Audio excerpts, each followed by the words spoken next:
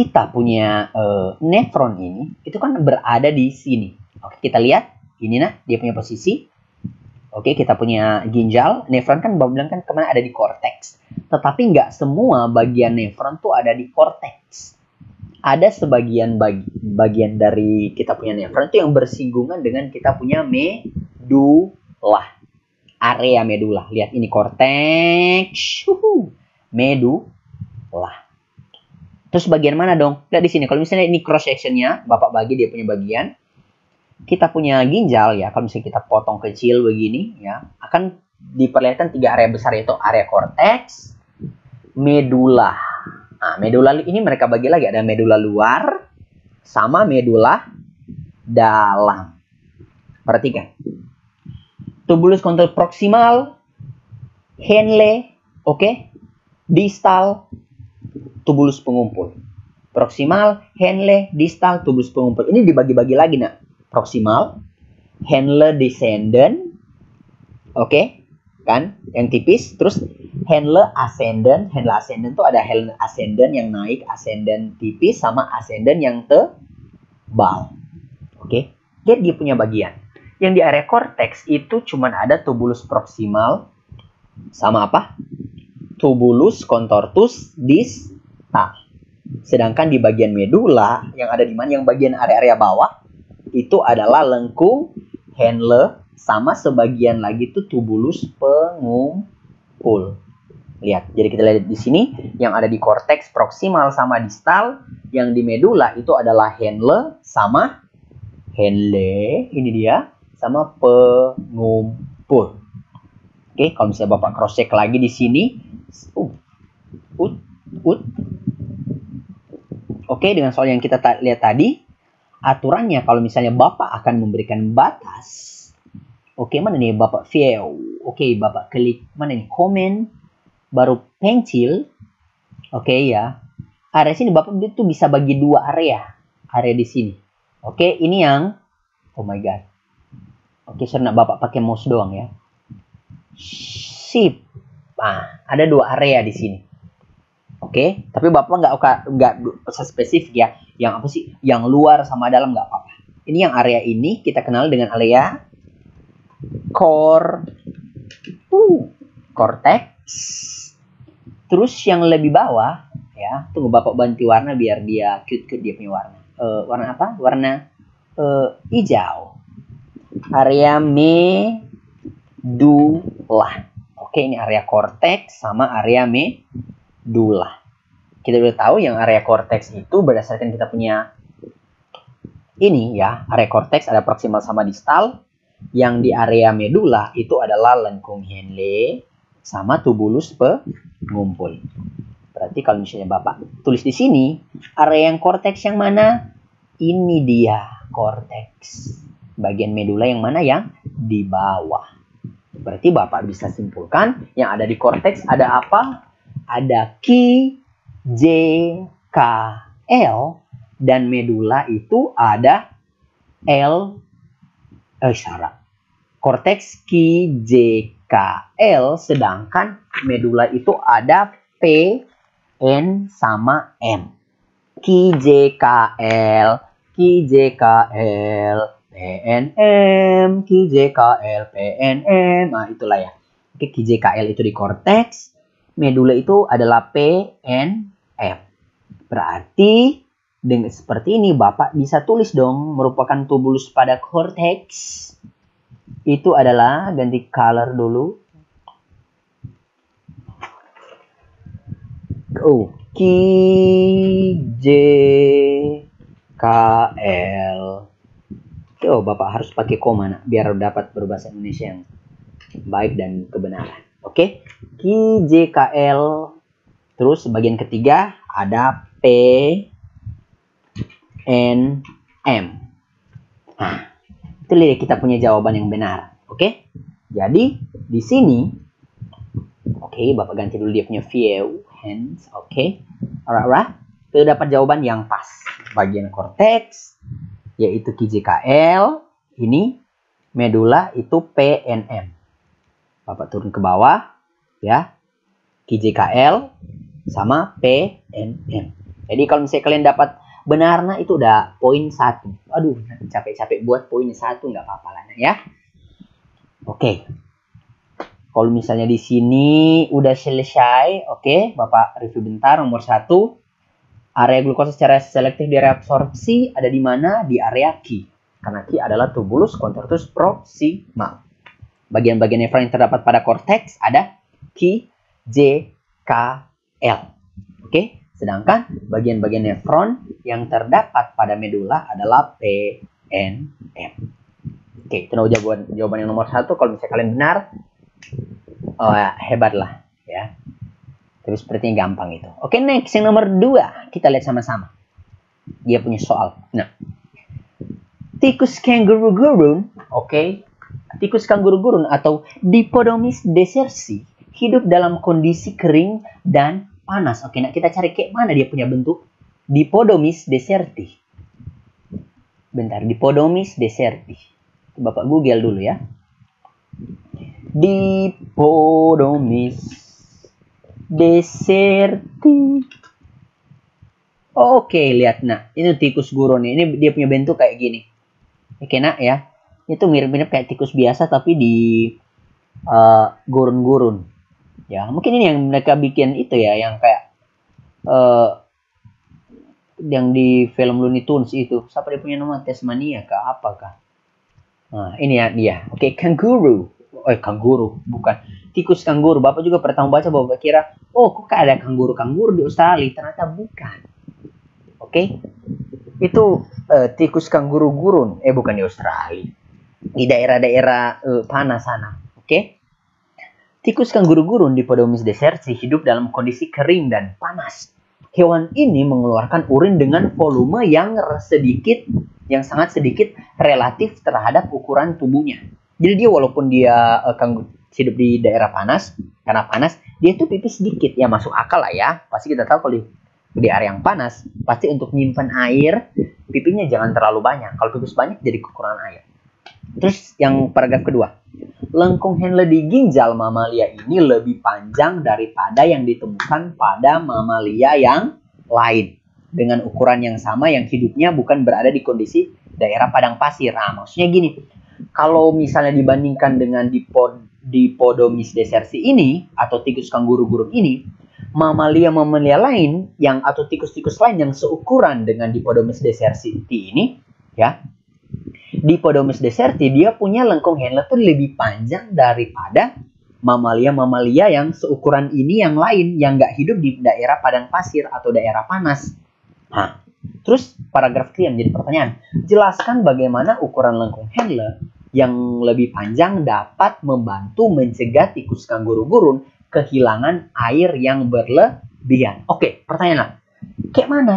Apa hubungannya dia uh, lengkung handler panjang sama uh, kanguru cara kanguru ini menjaga supaya dia tidak kehilangan air. Kita udah tahu uh, kanguru gurun, tikus kanguru gurun pipisnya dikit supaya apa? Tidak kekurangan air. Supaya dia tidak kekurangan hidup. Uh, apa? Dia pipis dikit. Nah, tapi dia kok bisa pipis sedikit? Nah, katanya di sini tulis lengkung handlernya lebih panjang. Oh, how come? How come? Lengkung handler lebih panjang, terus bisa berpengaruh dengan caranya membantu mencegah kehilangan air. Kita lihat di sini. Oke, nah, kita lihat ini adalah lengkung hand le oh antara ini atau yang di sini lebih jelas mana ya? Nah ini aja deh. Oke lihat. Nah lengkung handle ya itu adalah area uh, kita punya nefron yang masih terjadi proses penyerapan zat-zat uh, yang salah satunya adalah air. Loh, kok kalau misalnya lengkung handler lebih panjang, uh, cara menyimpan air gimana? Kita lihat.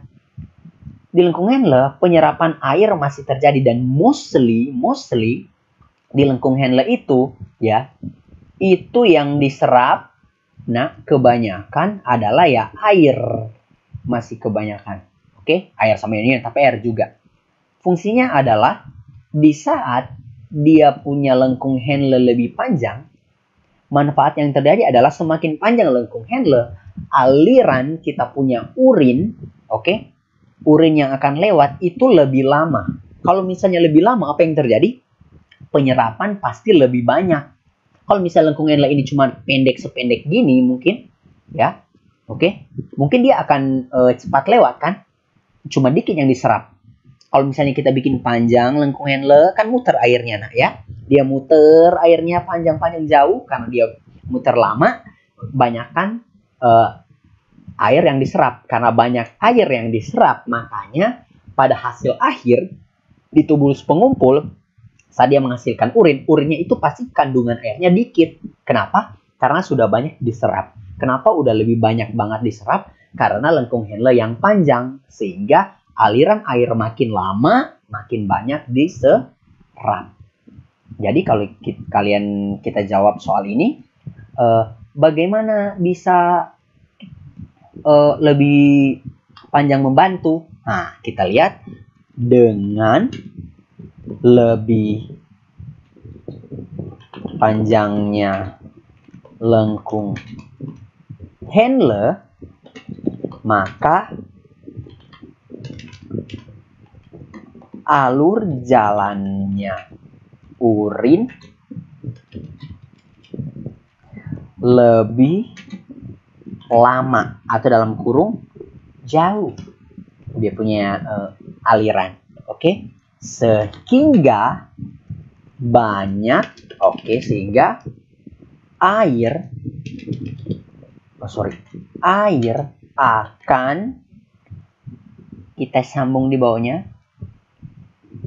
diserap lebih banyak sehingga reabsorpsi atau penyerapan kembali itu lebih maksimal. That's why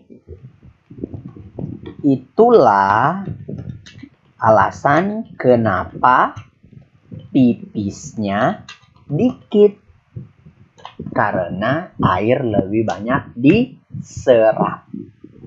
Dibandingkan dengan mamalia yang lain yang lengkung handlingnya tuh uh, ben, apa ukurannya standar. Kenapa? Karena mamalia yang lain tuh yang hidup nggak di bukan di daerah panas mereka tuh nggak butuh banyak air sebanyak tikus kanguru gurun. Tikus kanguru gurun hidup di daerah yang panas banget makanya dia butuh banyak air. Dia butuh menyimpan air banyak. Makanya lengkung handle harus panjang karena lengkung handle pan lengkung handle panjang penyerapan kembali itu lebih banyak. Penyerapan kembali lebih banyak ya lebih banyak yang dia serap oke? Okay? ya bapak rasa itu udah uh, jelas banget. Bapak recap karena dengan lebih panjangnya lengkung handle maka alur aliran urin lebih lama atau jauh sehingga air akan diserap lebih banyak sehingga reabsorpsi lebih maksimal. Itulah alasannya kenapa pipisnya dikit. Oke? okay?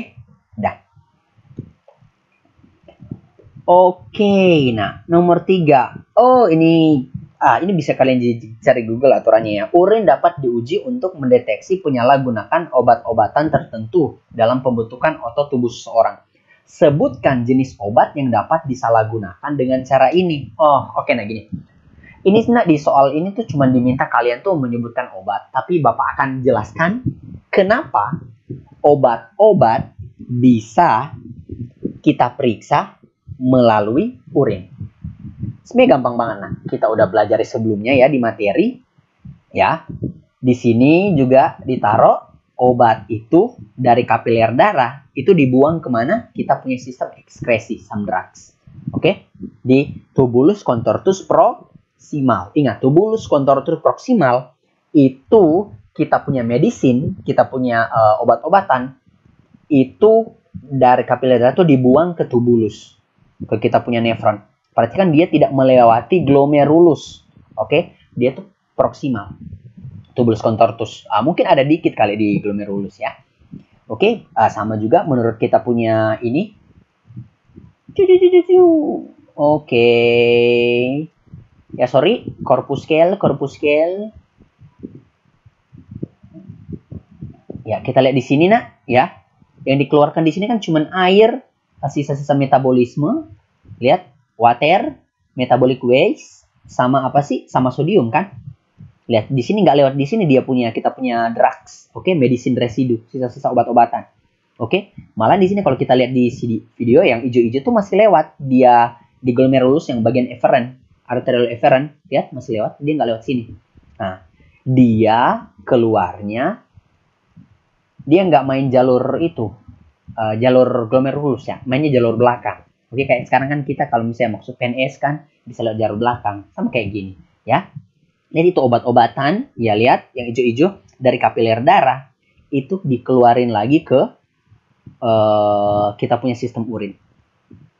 Nah, di sinilah baru setelah dimasuk kita punya nefron di proksimal, diteruskan, oke okay, proksimal, diteruskan handle, handle distal, distal augmentasi, terbentuk urin sempurna. Nah, di situlah ya dia akan bercampur sama urin dan di urin lah itu kemudian pas kamu pipis urinmu bisa diperiksa biasanya tuh kalau misalnya orang tuh mau uji uji kesehatan ya kalau pasti obat-obatan kayak narkoba atau mungkin di atletis steroid uh, doping. Nah, oke okay, obat-obat seperti itu tuh uh, biasanya dicek uh, melalui kita punya sistem pipis. Kenapa? Karena kita punya sistem obat itu dari kapiler darah itu dibuang ke sistem urin.